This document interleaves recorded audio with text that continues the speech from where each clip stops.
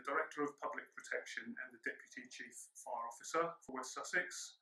My, my areas of responsibility are the support services in fire and rescue, and I'm also responsible for resilience and emergencies and trading standards. I think I'm most excited about delivering the new fire and rescue service operating model, which, which will go live from the 1st of April but also integrating services across the executive directorate to make make things better for communities and residents across West Sussex, and also working across the wider county council with colleagues to, to achieve the the aims and, and make West Sussex a better place. An organisation that really wants to do as much as it can for communities rather than just wanting to deliver stat- uh, statutory functions I think it's an organisation that's really trying to do more and more and more, really progress and be innovative, and that's exciting. That's an exciting thing to be part of.